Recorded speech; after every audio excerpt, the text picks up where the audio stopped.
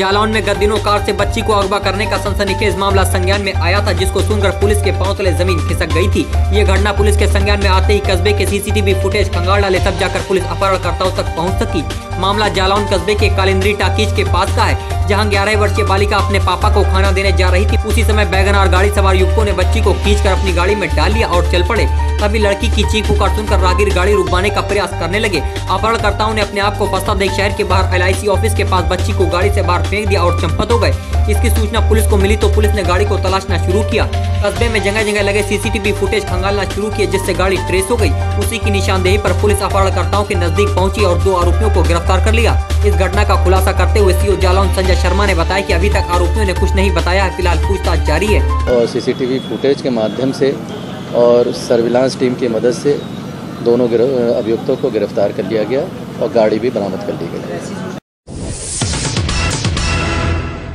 जिला हरदोई से मात्र कुछ दूरी पर स्थित जनियामो गाँव के जूनियर स्कूल की हम ऐसी स्थिति दिखाने जा रहे हैं, जिसको देखकर आप हैरान रह जाएँगे।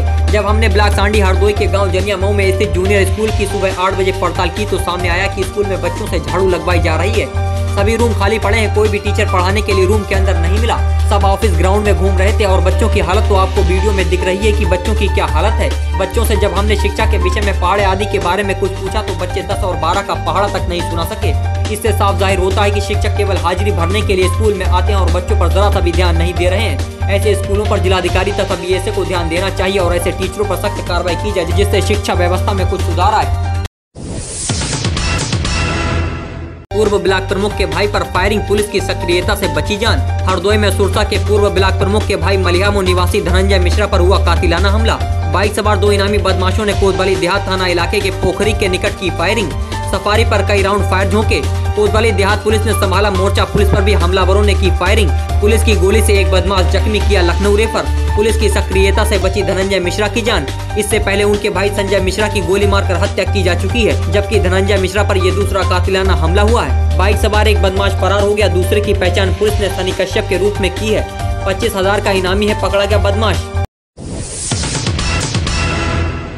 बाराबंकी में निंदूरा कस्बा टिकैतगंज राजकीय इंटर कॉलेज में प्रधानाचार्य डॉक्टर राम सिंह और समस्त शिक्षकों की उपस्थिति में संचारी रोग और स्वच्छता जन जागरूकता रैली निकाली गई, जिसमें ग्राम बसाराबाग गढ़ी और टिकैतगंज भ्रमण के अंतर्गत खुले में शौच न करें, दिमागी बुखार, दूर भगाए पिलेबी वायरस, दूर भगाए आदि नारों के द्वारा लोगों को जागरूक किया गया। प्रधानाचार्य डॉक्टर राम सिंह ने बताया कि उन्होंने स्वच्छ भारत अभियान के तहत राजकीय इंटर कॉलेज में टीचर और बच्चों के साथ साफ़ सफ़ाई की। इस मौके पर नीलेश उपाध्याय, अमित नीरज आदि लोग उपस्थित रहे।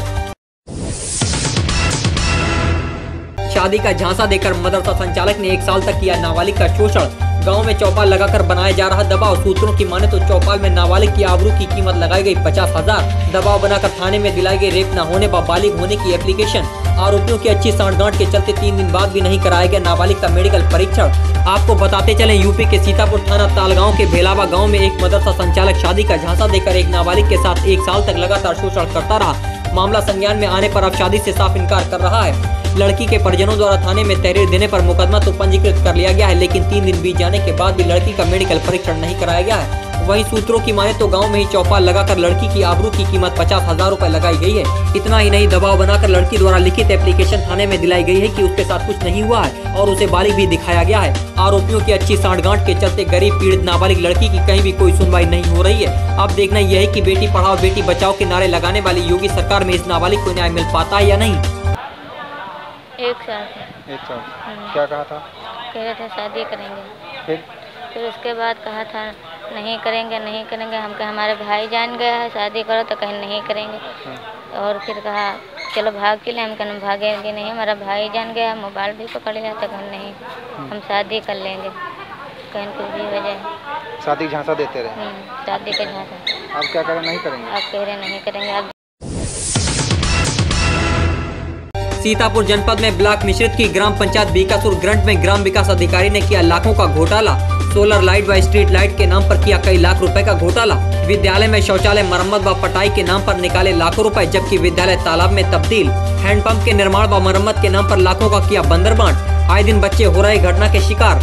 आपको बताते चलें कि यूपी के जनपद सीतापुर के ब्लॉक मिश्रित की बीकासुर ग्राम सभा में रामचंद्र ग्राम विकास अधिकारी हैं। बताया जा रहा है कि ग्राम विकास अधिकारी ने विकास के नाम पर वकारियों की मरम्मत के नाम पर लाखों रुपए का ग्राम पंचायत से घोटाला किया है सोलर लाइट, स्ट्रीट लाइट विद्यालय में शौचालय मरम्मत कार्य, विद्यालय में जल भराव से मिट्टी पटाई का कार्य जैसे अनेक कार्य दिखाकर लाखों रुपए निकाल कर बंदर बांट कर लिया लेकिन मौके पर देखा जाए तो विद्यालय में बरसात का गंदा पानी इस तरह से भरा हुआ है जैसे कि मानो विद्यालय नहीं कोई तालाब है, जिसमें पढ़ने आ रहे छोटे छोटे बच्चे कई बार अनहोनी घटना का शिकार भी हो चुके हैं, लेकिन प्रशासन की तरफ़ से कोई कार्रवाई नहीं की जा रही है। अब देखना यही कि प्रशासनिक अधिकारी मामले को संज्ञान में लेते हुए कोई ठोस कदम उठाते हैं या नहीं। अब नहीं रहा चोरों में पुलिस का कोई खौफ। सदरपुर क्षेत्र में लगातार हो रही चोरियाँ। बीती रात एक ही गाँव में चार घरों में हुई चोरियाँ, पुलिस नाकाम। सीतापुर जनपद के सदरपुर थाना क्षेत्र में आए दिन लगातार हो रही चोरियाँ। सूत्रों की माने तो सदरपुर थाना पुलिस चोरों को दे रही बढ़ावा, इसलिए नहीं थम रहा ये चोरियों का सिलसिला। चोरों के आगे पुलिस दिख रही निर्बल। थाना सदरपुर के पड़रिया गाँव में बीती रात चार घरों में लाखों की हुई चोरी। ये है योगी की पुलिस जो डर रही है, चोरों से नहीं हो रही, चोरों पर कोई कार्रवाई। रामेंद्र कुमार मौर्य, आशीष कुमार, कल्लूराम, सुरेंद्र यादव सहित चार लोगों के यहाँ लाखों की चोरी हुई है। नकदी सहित लाखों के जेवरात सामान हुआ चोरी।